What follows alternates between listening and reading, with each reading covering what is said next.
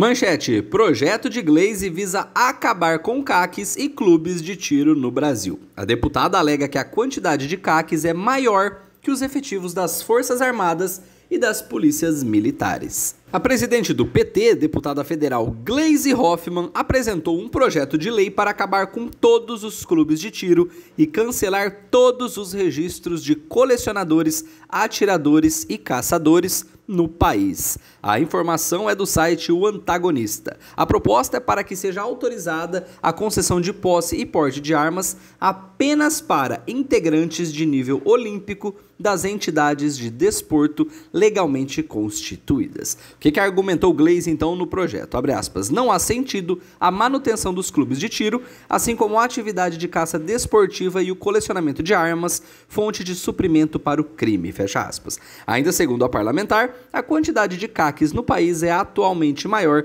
que os efetivos das Forças Armadas e das polícias militares. Alegou então ela. A quantidade de caques no país é atualmente maior do que os efetivos das Forças Armadas e das polícias militares somados, enquanto os clubes de tiro viraram locos de violência. E aí, amigos, o que acharam dessa notícia? Estão de acordo com o Glaze ou não? Deixe aí abaixo o comentário, opinião. Se é novo, se inscreva no nosso canal, compartilhe essa manchete. Vou ficando por aqui.